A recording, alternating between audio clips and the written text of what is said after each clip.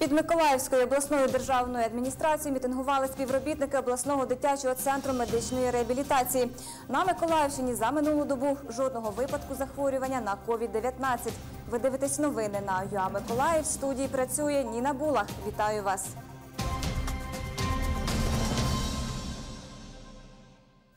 Близько 50 працівників комунального некомерційного підприємства Обласний дитячий центр медичної реабілітації організували пікет біля будівлі Миколаївської обласної ради. Вимагали виплатити заробітну платню за два місяці та виступали проти скорочень співробітників закладу. Як розвивалася ситуація, знає Володимир Степанов. Наразі сюжет готується до ефіру, а ми переходимо до інших новин.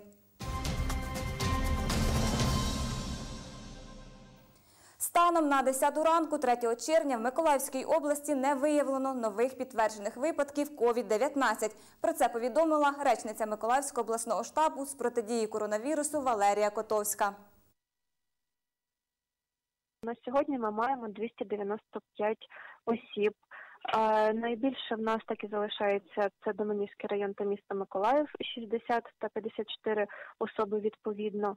Е, Найменше осіб у нас в Бітовському, Казанківському, Миколаївському, Снігурівському районах по одній особі. Також в Братському є три особи. Нових летальних випадків не зареєстровано. За цю добу одужало ще 4 особи. Тобто, станом на сьогодні ми вже маємо 182 е, людини, що одужали. Народна депутатка по 93-му округу, що на Київщині, Анна Скороход написала депутатський запит до правоохоронних органів щодо діяльності Миколаївського судобудівного заводу «Екоен- «Океан». Народна обраниця говорить, до неї звернулись працівники підприємства та розповіли, що майно заводу розпилюють та розпродають. Хто конкретно не відповідає. Про ситуацію дізнавалась Валентина Гурова.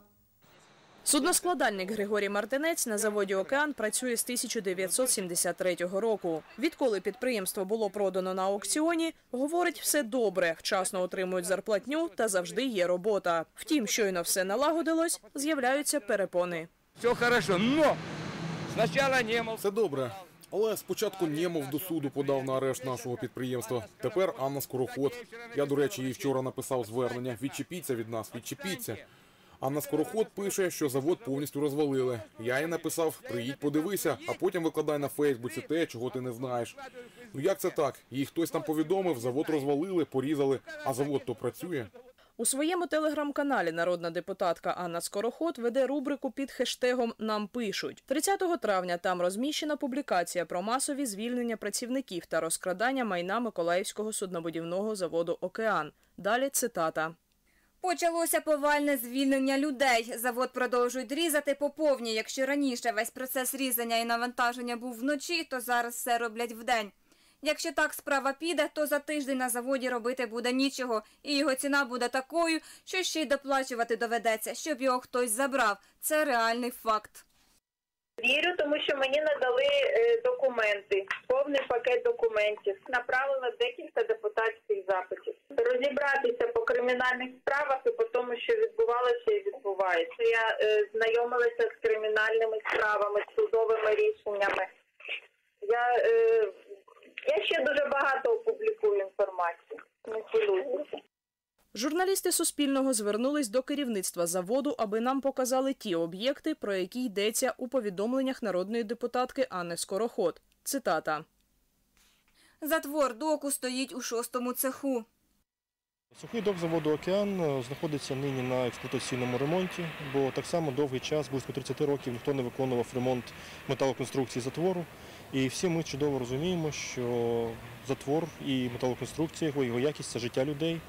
І в першу чергу ми зрозуміли для себе, що цей ремонт маємо, маємо зробити зараз для того, щоб далі і спокійно працювати і мати змогу виконувати ремонт і будувати в цьому доці. Йдеться у повідомленнях і про судно проєкту Бух. Їх на заводі два. Цитата. Тепер про бух. Його виводили за 12-мильну зону. Це такий процес для оформлення прапору і одноразового переходу. По всій видимості продали. Начальник управління маркетингу заводу Океан Микола Гапеєв розповідає, судна стояли на стапелі протягом 10 років. Тепер над їх добудовою працюють, вже є замовник. Багато із конструктивних елементів даного судна було фактично вкрадено людьми, котрі знаходились на заводі протягом цих 10 років до того часу, як завод здобув нового власника. Нині на сьогоднішній день ми маємо замовника на це судно і е, в активних перемовинах із процесу добудови цього судна на заводі Океан як повнокомплектного судна під. На заводі дійсно постійно ріжуть метал, але це частина роботи підприємства, говорить акціонер суднобудівного заводу «Океан» Василь Капацина. А зі 101 гектару території підприємства сьогодні використовують лише 40%. Є будівлі та конструкції, які дійсно давно не в роботі. Оці всі заяви, до речі, хочу сказати, вона там пише про якісь там японські, там корейські станки там і так далі. Ну, по-перше, такого ніколи на заводі ще й не було. А що стосовно цього кузнечного цеху, як вона каже, що за два дні його розпалили, так його розпалили ще багато років тому назад. І до речі, я хочу сказати, навіть ті, хто його розпалили, е, хто був тоді е, на заводі, хто був, по-моєму, ще при росіянах це зробили. Тому що кузнечне виробництво це технології 19 століття. От. Можливо, вони як власники е, того часу це і зробили правильно. Але дезінформація, все ставити з їх на голову, от, для того, щоб е, ще далі загнати репутацію заводу, отуди, знаєте, як кажуть, під плінтуси. Сьогодні на заводі триває робота. Модернізують, реконструюють судна, готуються до підписання контрактів зі суднобудування та судноремонтів. Незабаром буде завершено будівництво металоконструкцій Подільсько-Вознесенського мосту у Києві. Протягом року відремонтована значна частина обладнання підприємства та закуплено нове, наприклад, машина плазмової різки, розповідає Микола Гапеєв. Це чергова інвестиція нашого інвестора. Машина була придбана для того, щоб збільшити спроможність заводу у об'ємі порізці е, металоконструкції, листів для металоконструкції та підготовки. І так само ця машина вже забезпечує більш точні допуски для виробництва. Коментуючи дописи народної депутатки Анни Скороход, генеральний директор підприємства Василь Капацина говорить, всі вислови щодо розкрадання заводу – суцільна дезінформація, яка надходить із Росії. Я абсолютно впевнений, що пані Скороход просто використовують. Я жалкую, що народний депутат України отак може себе використовувати у цій грязній історії, яку її руками розвинули в засобах масової інформації. Василь Капацина запросив Анну Скороход особисто відвідати суднобудівний завод «Океан». Я приїду. Не знаю, коли е, буде час. Можливо, наступної неділі, можливо, через неділю. Сподіваюся, що найближчим часом вдасться до вас завітати. Також у своєму дописі у телеграм-каналі Анна Скороход написала Обсяги отриманої вигоди паном Капациною побудовані дві баржі, якими він так хизується. По суті свої нагадують бочки на воді на унікальному заводі, який будував танкери і авіаносці морських сил. Втім, на суднобудівному заводі «Океан» ніколи за його існування не будували авіаносці, говорить голова Миколаївського обласного комітету профспілок працівників суднобудування України Володимир Смілов. На жаль, мені неприємно читати та чути міркування некомпетентних людей, в тому числі народних депутатів, про суднобудування, про долі заводів і людей. Особливо, коли вони збивають пінку з чужих виступів, виконуючи чиєсь замовлення, не знаючи, не бачачи реальної картини, навіть не розбираючись у номенклатурі кожного із заводів Миколаєва. Валентина Гурова, Ігор Чорний. Новини на Суспільному. Миколаїв. В Миколаївському коледжі культури і мистецтв відновлюють навчання для студентів випускних груп. Що змінилось та про нюанси дистанційного навчання музикантів далі з матеріалу.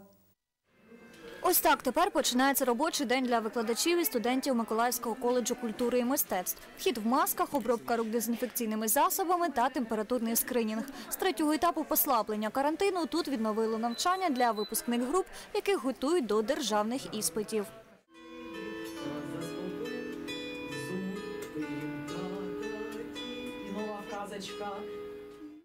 Це студентка Регіна Захарова. В коледжі дівчина навчається гри на бандурі, зокрема в оркестрі. Пари в інтернеті закінчились, каже, зітхнула з полегшенням. Заходи безпеки, організовані адміністрацією закладу, підтримує.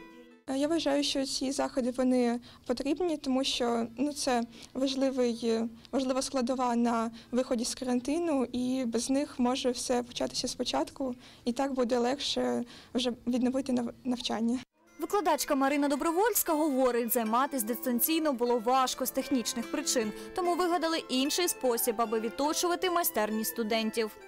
Це індивідуальне навчання, і хочеться кожного разу якусь фразу поправити, якусь нотку не так зіграну. А е, в Вайбері чи інших платформах то звук частіше він зависає, і воно не дуже якісно, як для музиканта було. Тому ми робили, ми записували. Потім я помилки ем, називала помилки, пере- перезазвонювалися, потім знову писались. Е, завжди, що студенти, що ми були у е, цих гаджетах, в комп'ютерах, в телефонах. Оце було саме е, важко.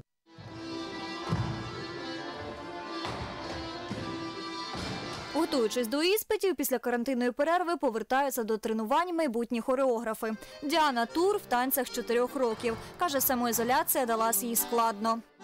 Тренувалася вдома, так постійно займалася. Ну, важко було, тому що не у всіх є місце вдома. Звісно, ми хвилюємося за своє здоров'я, але ми розуміємо, що це зараз потрібно, тому що хочеться достойно закінчити коледж. Заняттях з вокалу без маски лише студентка-виконавиця. Інші учасники освітнього процесу зберігають соціальну дистанцію.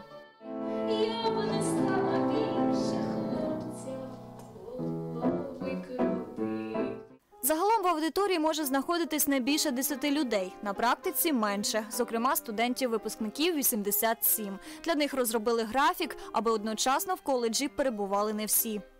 Зараз, от приклад на, на, сьогодні в коледжі приблизно ну максимум 20 студентів. Ми придбали власний за власний кошт дезінфектори. Ми придбали термометр безконтактний, і при вході обов'язково вимірюється температура. При вході обов'язково е, дезінфекція. Обов'язково наші прибиральниці прибирають е, щодня і після занять е, дезінфікуючими засобами, і обов'язково масочний режим. Сергій Мицик говорить, викладачі теж не виходитимуть на роботу всі одразу. До речі, педагогам, які під час карантину навчали студентів дистанційно, заробітню плату не скорочували. Ті, в яких не було змоги працювати з дому, отримали дві третини зарплати. Ми чекаємо абітурієнтів і творчі конкурси, які е, у нас мають проходити. То я сподіваюся, що вони також будуть проходити в аудиторії. І я хочу за- запевнити всіх батьків, всіх, е, хто там можливо там боїться, то що санітарні норми у нас 100% дотримуємося. Ми. Катерина Максименко, Юрій Руденко. Новини на Суспільному. Миколаїв. Станом на 3 червня в облдержадміністрації збирають інформацію про кількість навчальних закладів, які поповнили роботу після послаблення карантину. Про це телефоном повідомила начальниця відділу профосвіти Юлія Віник. Це була вся інформація на цю годину. Бажаю вам гарного вечора. Побачимось.